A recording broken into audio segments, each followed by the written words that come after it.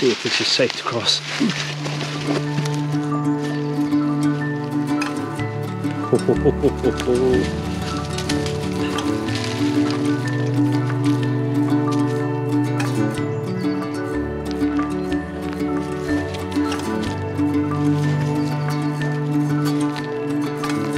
bit crunchy.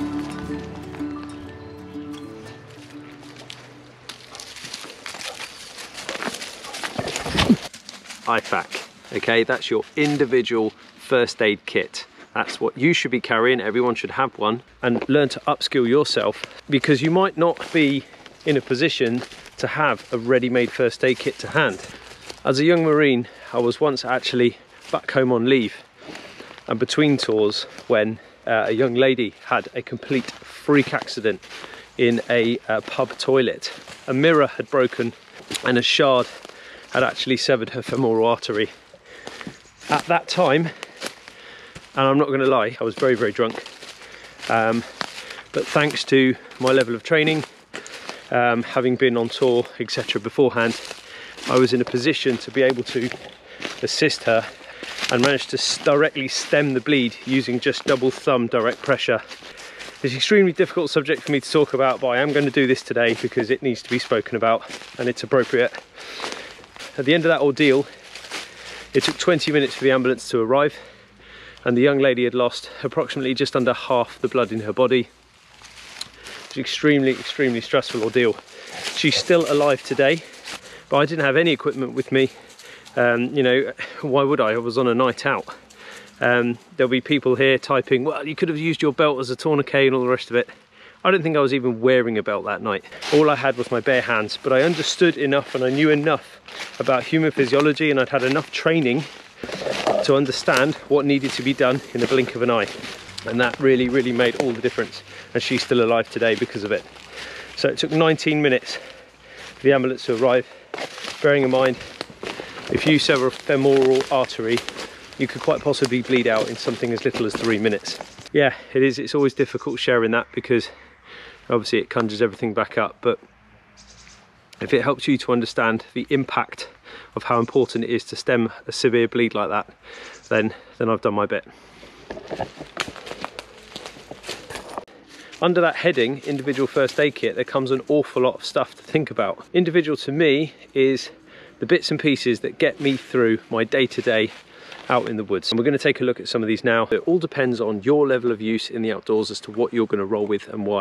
Okay, first thing we're going to take a peek at is this uh, Lifesystems bag. And this was just used for um, as an individual bag for one of our teachers, in fact, when we had the kindergarten. Right, so let's just put the bag down and take a little look at how easy it is to access there we go, look, and we've got different pouches and they're all kind of labelled up. So you've got gloves and info, bleeding and breaks, and this one says uh, medication and, and, accessories. So that's kind of all broken down. It's pretty simple, pretty straightforward. So really not too complicated. I'm also going to make the statement that I am not a uh, fully qualified medic of any sort. I of course have uh, first aid uh, training and uh, during my time in the Marines was a team medic. Now I'm out here in the civilian world, uh, the level of stuff that I'm legally able to work with much lower than that. Hence the constant upskilling and courses. Have a little think about maybe getting yourself on some courses and upskill yourself because of course all this equipment is only as good as you are. Okay, next up is my chainsaw bag and this is an old MOLLE Blackhawk bag again I think. Uh, so inside here, this is purely inside my chainsaw bag. Um, you can see there is a cat tourniquet inside of here. Forget the date on it, it's still fine. Um, okay, and that's been arranged so that it's good to go and that I can deploy that fairly easily.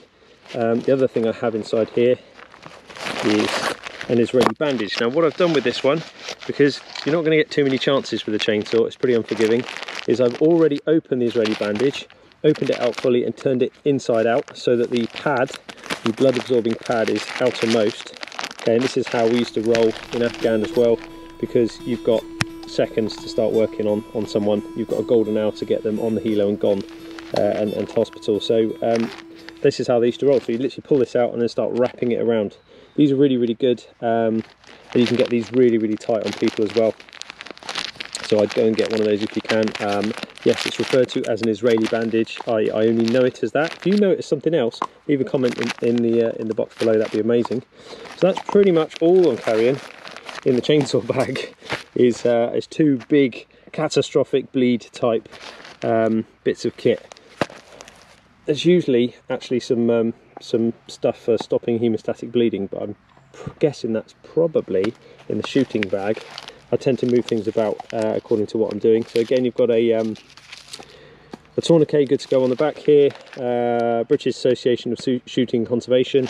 This is my shooting bag, and inside here, here it is, is the Celox gauze. Okay, this stuff is fantastic for packing inside open wounds and stopping bleeding quite quickly. You've got a um, Israeli bandage inside there, uh, some more gauze, a set of gloves, and I think, oh there you go, that's what's happened. So the Celox has ended up doubled up inside this one for some reason.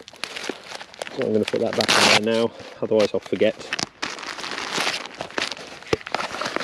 Um, you've then got your uh, Blackhawk zip bag, which is just a, a carrier, really, a method of carriage so when it comes to thinking about how big this thing is, well, it really depends on what you're carrying and, and, what it's going to be used for and how many people it needs to treat. But again, today is all about the individual. It's about you. So I would always say something about the size of your fist or your hand opened out would be about right. So let's have a look. Yeah. These are all about the same sort of size.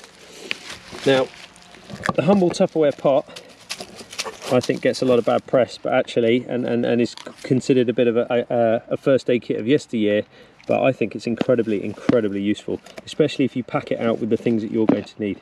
Of course, there are going to be more expensive options and there are going to be more budget options, and it's all about your level of working and, and what you're happy to go with.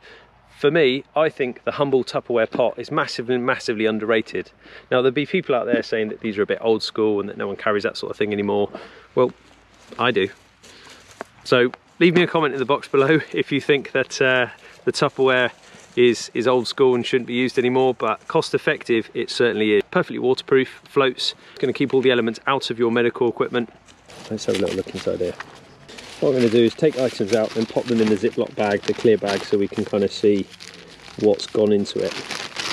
So the first thing I'd say is I've got a pair of gloves here. Next thing I'm going to mention is I've got two types of tape here. I've treated myself, fabric tape usually, and then I've also got zinc tape. Now the zinc tape plays a double role because it's also good for the back of your heels, anywhere where you've got a rub with kit or equipment, that's pretty useful for keeping things nice and cool. Allergy tablets, cold and flu oral suspension, okay, so you just tip that into hot water. Dioralyte tablets, okay, if you get the runs, that's pretty bad. There's a needle and thread here, tiny weeny little snap stick you might be having to deal with stuff in the middle of the night some 600 milligram uh, ibuprofen okay to help with swelling and things like that standards plasters fold down set of scissors these are great. A sail maker's needle. Okay so worst worst worst case scenario if you end up on your own and having to do a john j rambo. A pair of tweezers okay these are incredibly useful when it comes to getting ticks and things off mainly off of her. Yeah i've got some steri strips. These can be used to great effect. I had these on my face for a little while after a really bad smash up playing rugby. In the very bottom I've got an iodine gauze. And underneath that this stuff here is really interesting. This kind of sticky weird stuff here, tacky stuff, this is second skin. Okay, and you can put this over the back of a blister. This stuff's getting a little bit old now because it's been in the bottom of this pot for a while, but still workable. It's a spongy, it is just like skin. That's brilliant, and so I, I would use that. So that's kind of what's been hiding in one little Tupperware pot. You think about it, time to change the guard, you could just start again.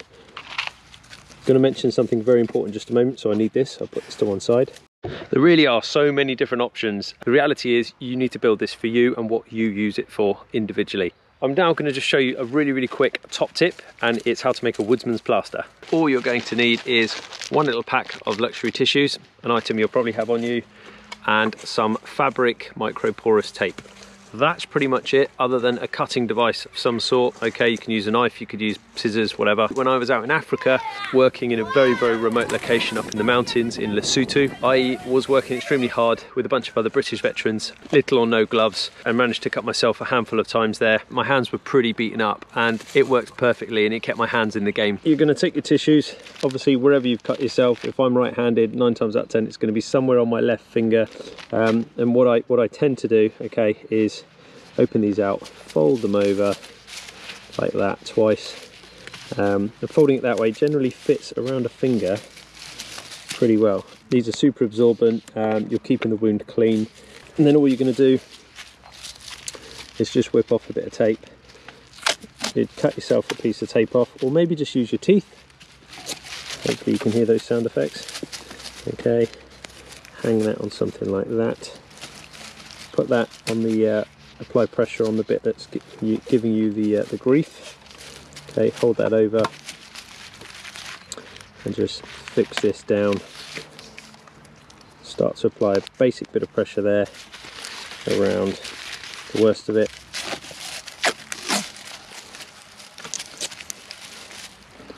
Okay, so I want to make sure that this isn't going anywhere. Be careful guys that you don't put this on so tightly okay that you actually cut blood supply off to the finger. So just before you cover the top bit up, just depress on your nail, okay, and you should see it go white and then back to full colour. Okay, that's a capillary refill test. It's a great way to know that you've still got blood flow going to the offended finger. Okay, and then cover it over and then see if you can actually cover the end of the finger right over. However you do it, it's up to you. Like I said, not a medic, but uh, this works. There we go, something like that is going to house everything, keep out of trouble. Yes, it looks horrendous. Okay, so there we go. So that's a Woodsman's Plaster 101. Hopefully that's given you some better ideas as to what should go in an individual first aid kit or perhaps what one is and maybe some ideas about doing it on a bit more of a budget as well. As I've said the whole way through this, you've got to pack this with you in mind. It's your individual first aid kit. Coming out the back of things like Iraq, Afghanistan, medicine has come an awful long way, especially around trauma medicine. Whereas before, losing a limb would have been pretty much a life instant, well, almost instant life limiting thing. There are people alive today who are double, triple amputees, and that is thanks to those advances um, which sadly have come out of warfare. I wish you all the best. I wish you some safe travels when you're out on your adventures or wherever it is you're going to be going with your first aid kits and, uh, and hopefully you won't need to use them. Touch wood. Thanks for watching today. Make sure you hit the like button. Bye. Yeah.